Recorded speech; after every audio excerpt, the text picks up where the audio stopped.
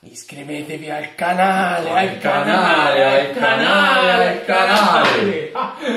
Ribalta tutto Giacomo. E buonasera Casa Buonasera. Champagne, stasera siamo in due, ci manca Don Peppe che è rimasto a Peppe. Roma a Però festeggiare che con i video che ha fatto. Peppe, live, incredibile, Applausi. fontana di, Fe- di, di, di Trevi, vedetelo. Ha buttato tutto il suo stipendio in monetine dentro la fontana per eh, esprimere il desiderio di vedere l'Inter in Champions e è servito.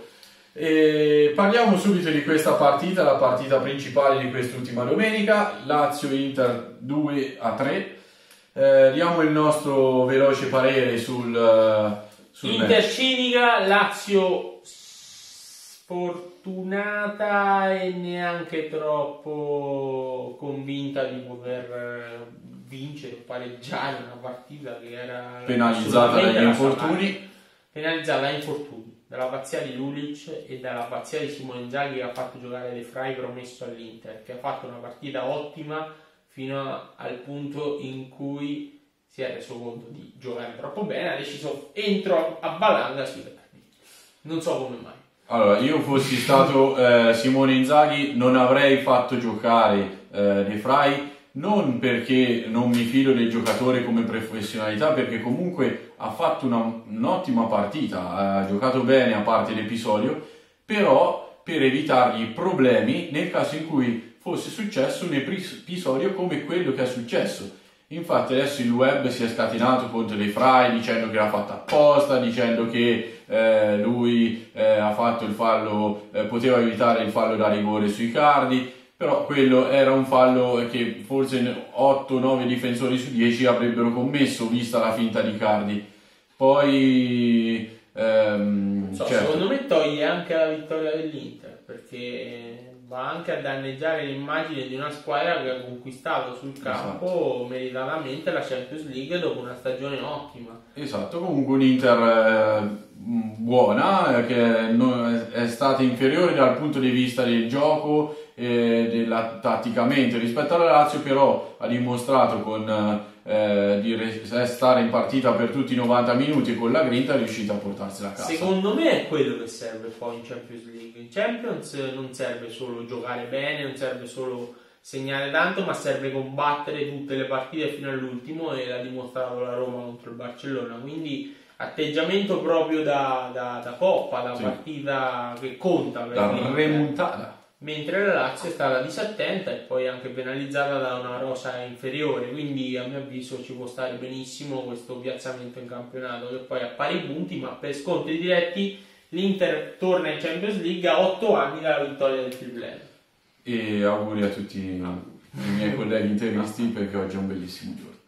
Pa- chiusa eh, la parentesi su Lazio Inter, non parliamo delle altre partite della Serie A, non parliamo della lotta a retrocessione, ma come hanno fatto tutti gli youtuber, come hanno fatto tutti i programmi di calcio, facciamo un pagellone, ma il nostro sarà un pagellino perché partiremo da- Pagellino delle migliori. dall'Atalanta, cioè dall'ultimo posto disponibile UEFA, alla, alla Juventus. Allora, diamo, Allora. ne faremo una per uno. Mi dispiace però se Partiamo così dall'Atalanta. non parlare della Fiorentina, mi dispiace un po' perché è la grande esclusa. Ah, apriamo una parentesi sulla Fiorentina. Fiorentina che ha fatto fino a gennaio un campionato da retrocessione e dalla tragedia di storia in poi ha fatto un campionato da Champions League e ha chiuso a pochi punti dalla, dall'Europa League, esclusa solo da una grandissima Atalanta. Quindi direi a Fiorentina confermasse tutti i giovani campioni che anche se sarà difficile tenere gente del calibro di Chiesa e, e migliorasse solo un po' la difesa per eh, poi l'anno prossimo fare una grande stagione in Europa. Sì, sono stati Quelli- penalizzati dal fatto della squadra nuova, allenatore nuovo e sul girone d'andata in cui hanno portato a casa forse meno punti di quelli che, eh, di quelli che ci si aspettava. L'Atalanta invece ha confermato la, la squadra dell'anno scorso, ha venduto alcuni pezzi pregiati ma l'ha sostituiti con giovani promettenti e i risultati poi si vedono sul campo perché ha fatto un campionato eccellente, ha eh, ri- rivitalizzato gente come Ilicic facendola tornare ad essere il fuoriclasse che, che ricordavamo e ha fatto un campionato spettacolare, è arrivato ai preliminari che comunque per l'Atalanta considerando anche che ha fatto un discreto cammino in Europa League, nel frattempo è, è tanta tanta roba. Sì, quindi grande allenatore, grandi giovani, eh, la, si conferma una squadra che lotta sempre per un posto Sì, in Europa grandi.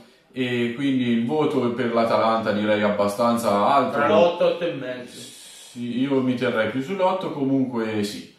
Eh, il Milan. Qual è stato il problema del Milan? Le aspettative, perché ha fatto un campionato per il mercato che ha fatto, a mio avviso. Ottimi campioni affermati, Ma non per i soldi che ha speso. No, no, quelli perché l'ha spesi male in attacco.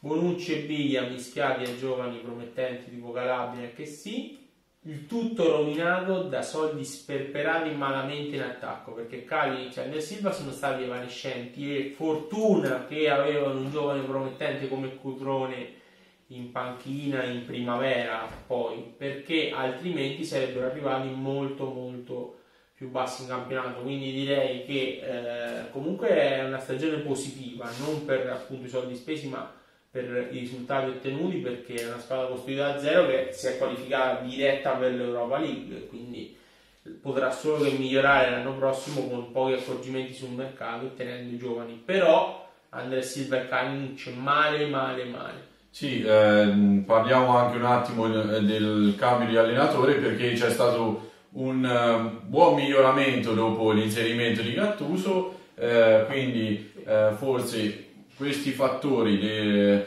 eh, tutti sommati insieme hanno dato il risultato del Milan che è arrivato al quinto posto. Cioè, no. Al, scusa, al sesto posto. Quinto posto che è stato conquistato a Milan, voto al di sotto delle aspettative, quindi io darei un 5,5-6. Ah. No. Sì, io non, non di più, Vabbè. perché col mercato che aveva fatto ah, doveva, Eh, doveva il mercato andare non fa la squadra, lo fa dirigente.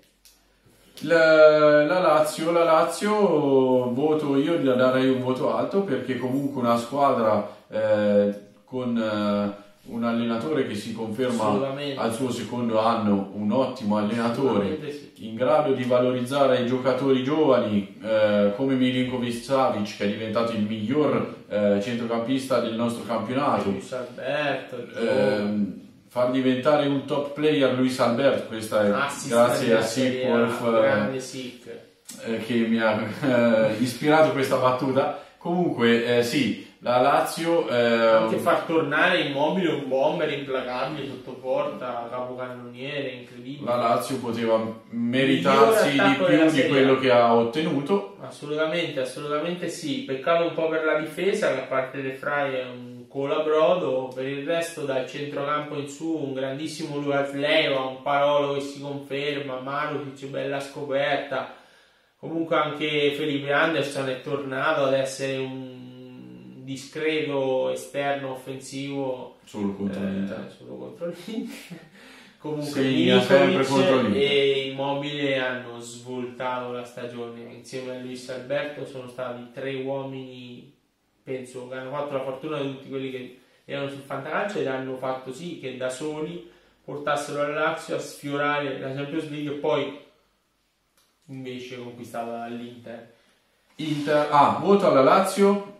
Io do un 7,5 Sì, per 7,5. il calo finale, altrimenti sarebbe stato un 8. ok Inter, Inter, una squadra, io dico che è l'unica squadra che ha mantenuto le proprie aspettative, perché l'Inter eh, prima dell'inizio del campionato Spalletti ha dichiarato il nostro obiettivo è il quarto posto, sono arrivati i quarti, hanno fatto un girone di andata eh, al di sopra delle aspettative, sono stati primi per diverse giornate, sono calati eh, a cavallo eh, fra l'andata e il ritorno e la prima parte del ritorno calati nettamente con una bella crisi e poi eh, la squadra ha saputo riprendersi grazie anche a Spalletti quindi ehm, e grazie anche agli inserimenti di Rafinha Sì, eh, a gennaio la scoperta di Cancelo che era stato in panchina per tutto il girone di andata non si sa perché.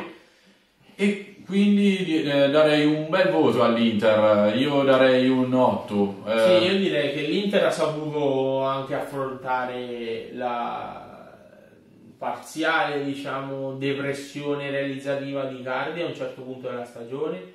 ha saputo cavalcare la, sulla cresta dell'onda per un grande Perisic finché ha giocato bene. E poi quando Perisic ha, ha iniziato negli ultimi mesi a, fare prestazioni meno saltanti ha tirato fuori dal cilindro un grande Cancelo, un grande Rafinha, quindi anche Brozovic, Brozovic, Brozovic che si è quindi direi una squadra, un bel mix di giocatori talentuosi, dosati bene, eh, al punto giusto, che eh, con poche accortezze sul mercato a mio avviso potranno fare ancora meglio l'anno prossimo. Quindi dallo tu il voto, ma il mio è Io il mio è un 8, un 8. La Roma, la Roma. Roma io è il miglior voto che do al campionato 9,5 per me, perché ha fatto un campionato esaltante, ha fatto bellissime partite, ha perso nuovi punti ed è sempre stata sicura della Champions League. Non ha mai puntato a vincere lo scudetto perché nel frattempo ha fatto una grandissima Champions League, ottimo girone, bellissime figure contro Atletico Madrid, Chelsea, Barcellona, ha buttato fuori il Barcellona una remontata pazzesca e quindi solo tanti complimenti, ha dato anche fastidio al Liverpool in semifinale. Tanti complimenti per aver gestito in parallelo le competizioni, arrivando un bel, bel piazzamento, diciamo terzo posto sia in Champions che, che in campionato, con una rosa molto eh, rimaneggiata rispetto all'anno scorso. E l'allenatore nuovo. Allenatore nuovo, senza Rudiger, senza Salah, il miglior centrocampista del, della Premier League, capocannoniere, scarpa d'oro, ha fatto comunque miracoli con uno chic a mezzo servizio, un under tirato fuori dalla primavera del campionato turco, ottimo, veramente ottimo. Voto? 9,5. Sì, sono d'accordo. Il Napoli, il Napoli una squadra che eh, eh, era partita insieme alla Juventus come favorita per lo scudetto, che è stata lì per vincerlo fino a un mese dalla fine della stagione, è Poi calata nel momento in cui non doveva calare. Eh, gran bel gioco, eh, ottimi giocatori, soprattutto quelli titolari, ma anche le panchine, la panchina, se, ehm, anche se molti mi cor- mm, non saranno d'accordo, ma secondo me ha grandi giocatori anche in panchina. Eh, ha sbagliato Sarri nella gestione dei giocatori, ha sbagliato eh, i giocatori forse nel carattere, Quando nella convinzione e a non perseguire il proprio obiettivo nel momento in cui andava eh, raggiunto. Quando ci sono giocatori come Verdi che dicono no a una squadra da scudetto perché eh, hanno paura che poi non vengano impiegati abbastanza, significa che c'è qualche problema perché mh, l'allenatore mh, sa, non può dire ho una rosa corta e poi eh, giocatori come Giaccherini che vanno, eh, vengono regalati al Chievo a metà campionato fanno eh, partite saltanti, giocatori come Verdi poi non, eh, non, vengono comprati perché hanno paura la panchina, giocatori come Diawara, Robles, Lieschi Maximovic restano a guardare, Milik non giocano. Ovviamente questo era l'anno buono del Napoli perché aveva una squadra, aveva l'11 perfetto, quello che tutti sapevano a memoria. Poi ovviamente c'è stato eh, l'infortunio eh, del, del, difensore esterno, Gulam. viene il nome, Gulam, eh, ha dovuto giocare Mario Lui, ma comunque era una formazione ottima che a mio avviso non tornerà perché persa questa occasione perché si è festeggiato troppo dopo la vittoria contro la Juve cioè, ricordate che il Napoli è uscito quasi volontariamente dall'Europa League per concentrarsi il campionato e poi è crollata ugualmente a causa della mancanza di forze fisiche, non lo so, secondo me più forze mentali. E, e queste occasioni a mio avviso non torneranno perché ci sono sirene cinesi per Ramsic, sirene inglesi per Mertens e, e la squadra se va via Sarri si smembra, quindi io credo che... Quindi voto al Napoli? Per me 6 la seconda parte della stagione e 9 la prima, quindi un 7,5.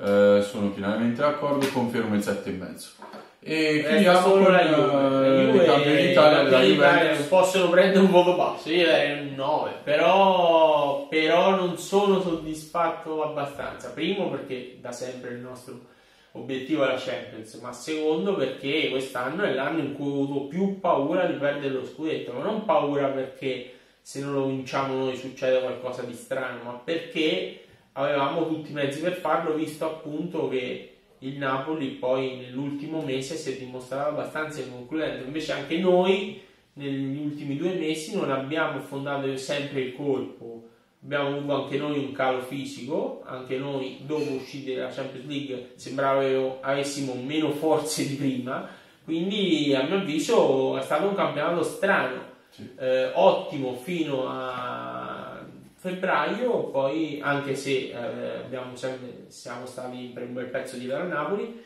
e poi passi falsi, misti a grandi prestazioni, un po' strano da, da capire. Ma... Quindi una Juventus con un gioco. Il problema era il gioco, infatti. Il problema non erano tanti risultati, era che grandi campioni. Partite noiose, risolte solo da, da, grandi campioni a volte che giocavano in maniera singola e non è un bel segnale in vista de, di quello che poi è sarà la Juve del futuro che deve staccarsi un po' dalle grandi giocate e deve per vincere la Champions direi eh, diventare più che altro una grande squadra quella che, che era una volta con la BBC che adesso non c'è più. Quindi voto alla Juventus di quest'anno?